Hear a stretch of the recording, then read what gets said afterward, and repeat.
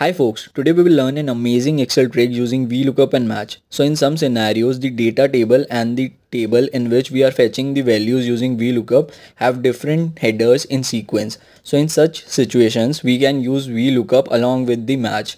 So in column index number, instead of putting numbers manually, we can use match in column index.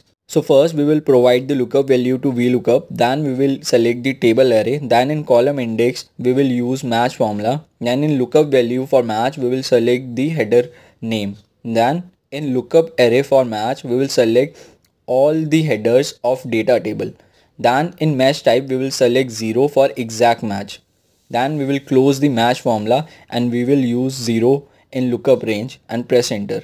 Now we will drag the formula for all columns and here we have get a result for each column. So we can check that our values are correct for each column